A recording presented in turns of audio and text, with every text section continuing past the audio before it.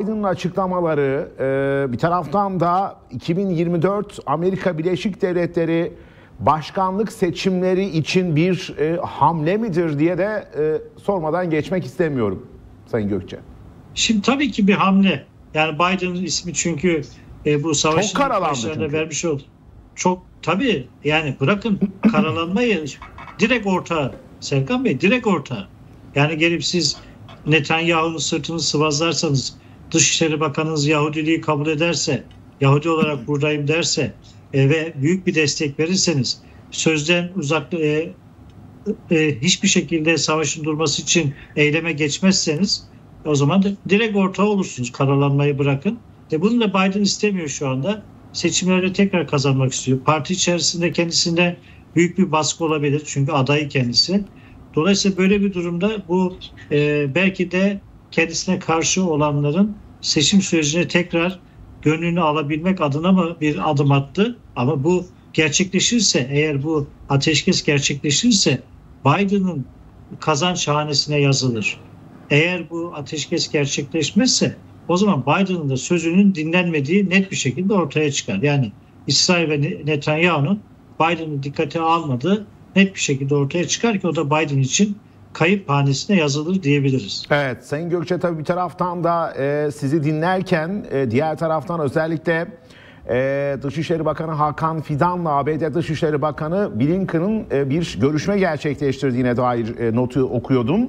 Şimdi tabii bu e, görüşme de çok önemli. E, üç aşamalı bir e, plandan bahsediliyor. Yine e, her iki Dışişleri Bakan Bakanı da bu konuyla ilgili özellikle e, çok önemli bir adım attık diyor e, bir taraftan tabii e, ciddi bir aşama kaydediliyor.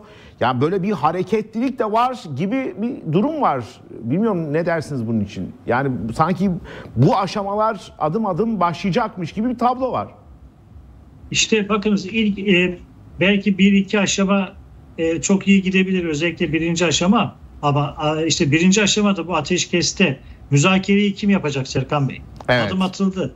Ya burada Hamas ikna edildi masada olmayacak ya da Hamas'ın da temsilcilerin olduğu bir grup yani tüm e, Filistin'de bu mücadele yapan grupların temsilcilerin olduğu birileri olacak ya da bunların vekil tayin ettiği ülkelerden e, birileri olacak masada. İsrail'le konuşacak ona.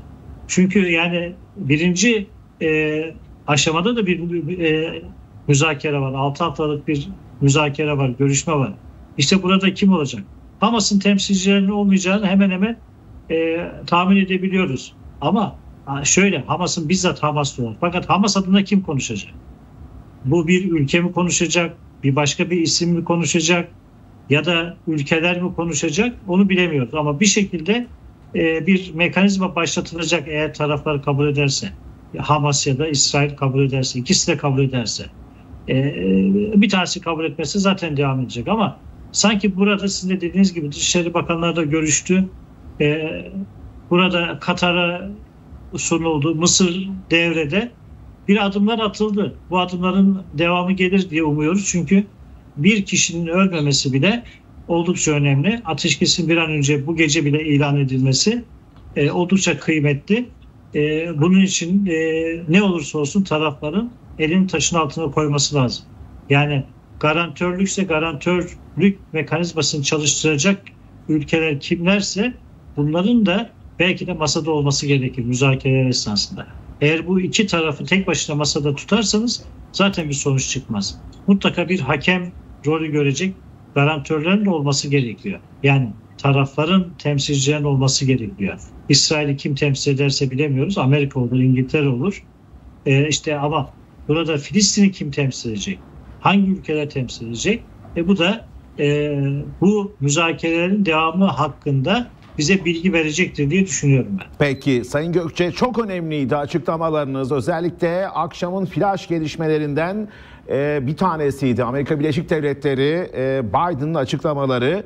Bakalım bölge için nasıl bir e, yine e, öngörüde bulunacak, nasıl bir adım atılacak? Bunu da tabii hep beraber takip ediyor olacağız. Çok teşekkürler Sayın Gökçe. E, önemliydi açıklamalarınız.